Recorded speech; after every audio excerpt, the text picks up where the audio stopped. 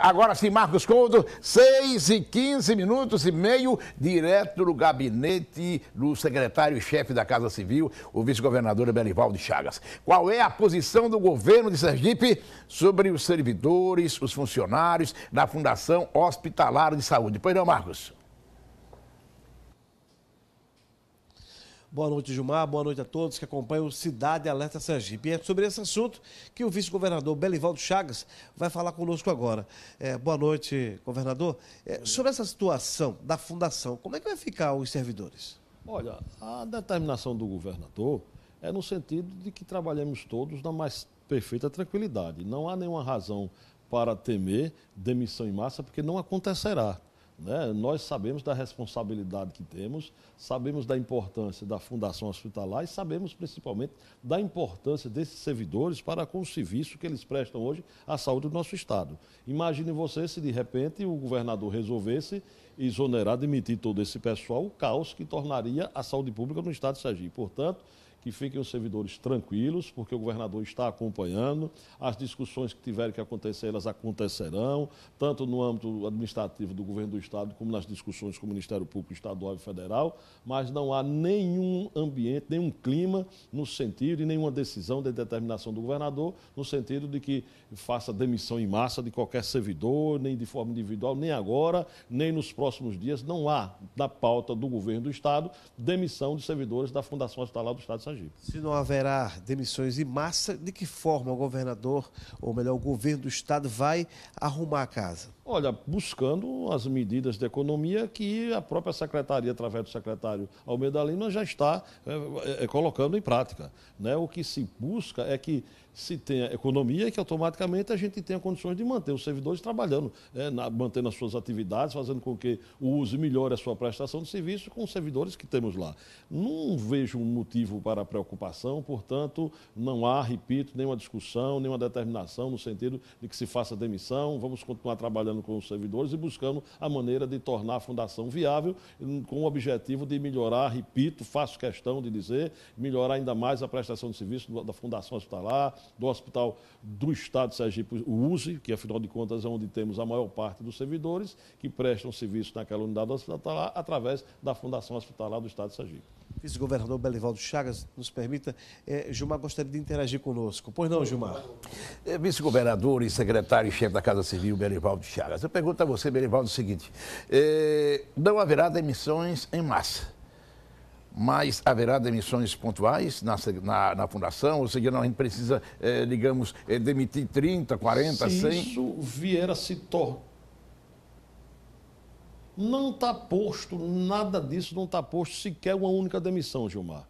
Se isso vier a acontecer, só acontecerá a partir de uma, de uma, discussão mais ampla. Mas, no momento, não está posto no governo que haverá sequer uma demissão. A determinação do governador é economize, enxugue despesas dentro da Fundação Hospitalar, encontre fórmulas para que se mantenha os servidores, os empregados prestando seu serviço e que automaticamente com isso também melhore o atendimento nas unidades hospitalares que são mantidas através da Fundação Hospitalar do Estado de Sergipe. Portanto, não há nenhuma determinação no sentido de que demita um único servidor.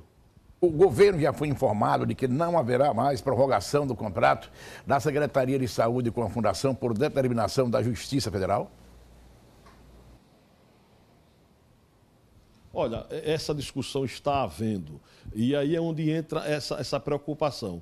Se vai haver prorrogação ou não do contrato, ainda tem tempo para discussão. O que não se pode é interromper um contrato de um dia para outro e criar um caos. E o Estado está exatamente acompanhando isso para buscar a solução, para encontrar a solução. É o que eu colocava aqui há poucos instantes. Imagine que, de repente, nos próximos 30 dias, chegássemos à conclusão de que não se renova mais o contrato, coloca todo mundo para fora. E aí? Você vai fechar o USE?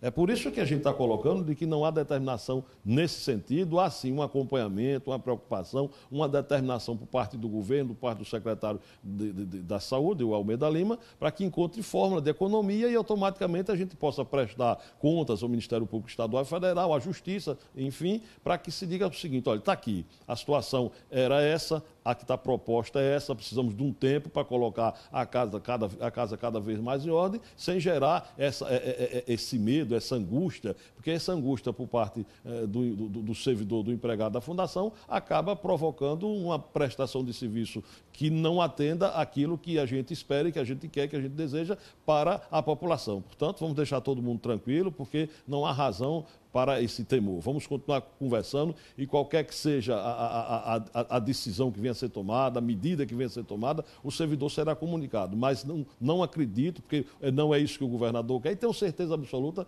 que a Justiça vai sentar com o governo do Estado, o Ministério Público, e juntos encontraremos uma solução para que a gente dê tranquilidade e mantenha esse servidor, se não na fundação, a partir de que momento pode trazer para a própria Secretaria de Estado de Saúde, enfim, contanto que a gente não tenha que estar fazendo demissão, porque você demitir hoje, vai ter que contratar amanhã, porque você não vai fechar o hospital. Então, por que essa demissão para criar esse problema, esse clima né, de medo, de angústia do, do, do empregado da fundação? Não há nenhuma necessidade para isso e não faremos isso relação contratual hoje do Hospital Cirurgia, mudando agora, é com a Prefeitura de Aracaju. Há uma discussão sobre a possibilidade de o governo do Estado assumir esse contrato com o Hospital Cirurgia. O doutor Ramiro Roquembar, Ministério Público Federal, deu um prazo até o dia 23 para que Prefeitura de Aracaju e governo do Estado se entendam, porque senão o Ministério Público Federal vai ajuizar a ação. Como é que estão as tratativas? Olha, todos estão conversando, né? Sabemos das dificuldades pelas quais o Hospital de Cirurgia roda vira, está passando, é falta de recurso, é atraso no repasse, às vezes do Estado, às vezes do governo federal, às vezes do município. O Hospital de Cirurgia tem que ser olhado tem que ser tratado com carinho. É uma unidade respeitada, de vários anos de prestação de serviço a Aracaju, Estado de Sergipe, e além fronteiras, porque para aqui a gente acaba recebendo também pessoas da Bahia. Não podemos deixar o Hospital de Cirurgia sozinho. Então, que cheguemos, portanto, a um, um denominador comum, a uma conclusão de como, unindo forças, a gente tenha condições de continuar ajudando e continuar fazendo com que o Hospital de Cirurgia continue de portas abertas, atendendo a população do Estado de Sergipe o governo de alguma forma participou, ou o governo sabe, ou o governo contesta, enfim, qual é a posição do governo sobre a declaração de Suquita de que foi torturado quando preso no Compajaf? Olha, todos nós recebemos essa informação de forma é, a, a que nos colocasse todos surpresos, porque depois de tanto tempo, só agora acontece essa denúncia, se é que nós podemos chamar de denúncia. Eu prefiro encarar como uma informação dada por Suquita e que a própria Secretaria de Justiça, diante da responsabilidade que tem com o caso, encarou como denúncia e vai apurar. Realmente a gente fica preocupado porque isso não pode acontecer com ninguém independente de ser suquita A, B ou C, isso não é para acontecer. Ninguém tem que ser torturado. O preso tem que ser recebido com o respeito que tem que ser conforme determina a lei, tem que ter o cuidado conforme também determina a lei, e realmente é estranho, né? porque somente agora veio à tona esse assunto. Mas o secretário Cristiano Barreto já lhe deu todas as, as explicações. Vamos sim apurar, vamos ouvir, vamos ficar na expectativa de que o próprio Suquita preste as informações que nós vamos precisar para que se apure a fundo e que a gente restabeleça, portanto, a verdade e mostre para a sociedade o que realmente aconteceu. E se aconteceu, com certeza eh, serão punidos aqueles que cometeram eh, esse esse ato, né? Mas, enfim, o que vai mostrar se realmente isso veio acontecer, é a apuração dos fatos, que já está sendo iniciada com muita responsabilidade através do nosso secretário de Justiça. Apenas 30 segundos e bate pronto. O governo vai rescindir o contrato sobre o Hospital do Câncer? Sim, nós estivemos hoje fazendo uma visita e eu acompanhei o governador Gilmar. A partir do momento em que foi dada a ordem de serviço, nós, nós deveríamos estar hoje com 21% da obra realizada. Temos apenas 3,49% de obra realizada até este momento. Não temos condições de continuar com este consórcio executando esta obra. O governador Jacques Barreto ficou extremamente chateado e determinou que a Secretaria de Estado de Infraestrutura tomasse providência junto com a Secretaria de Saúde. Obrigado, governador. Marcos Couto para o Cidade Alerta Sergipe. Gilmar.